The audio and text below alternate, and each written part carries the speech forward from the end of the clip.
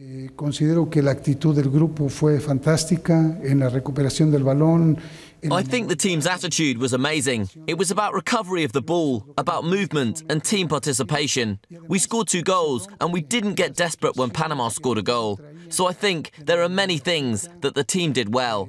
This gives us confidence to continue working and moving forward. Fantasma de que si te meten un gol hay desesperación. Entonces creo que hay muchas cosas que el equipo traía que se, que se quitó de encima y eso nos da la tranquilidad para seguir trabajando con mayor tranquilidad y poder seguir mirando hacia adelante. We won, but there is a game to come, with the possibility of going to the World Cup. So we haven't won anything yet. We need to win the next game to have a playoff opportunity. Para tener la oportunidad de la repesca. Yo creo que todos formamos parte de, de, de lo que ha ocurrido, de lo que ha ocurrido en el terreno de juego.